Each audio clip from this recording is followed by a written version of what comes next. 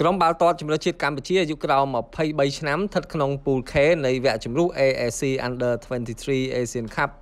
2022ដែលមានកូរ៉េខាងជើងនិងជប៉ុនសម្រាប់ក្រុមម្ចាស់ផ្ទះរ៉ាប់រងពូល K នេះមិនទាន់មាននៅឡើយទេដោយ AAC នឹងបញ្ជាក់នៅពេលក្រោយគួរបញ្ជាក់ថាការប្រកួតជម្រុះ AAC អាយុក្រោម23ឆ្នាំឆ្នាំ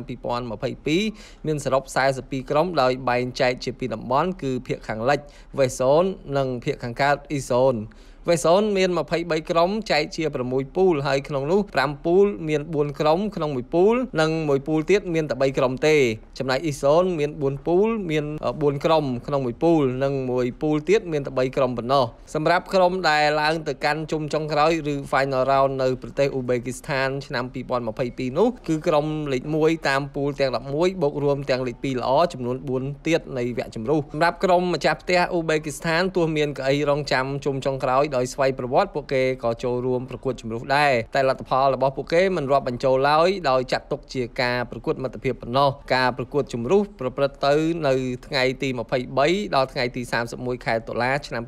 2021ការប្រកួតជុំចុងក្រោយឬ Final Round នៅប្រទេសអ៊ូបេគីស្ថានធ្វើឡើងពីថ្ងៃទី1ដល់ថ្ងៃទី19ខែមិថុនាឆ្នាំ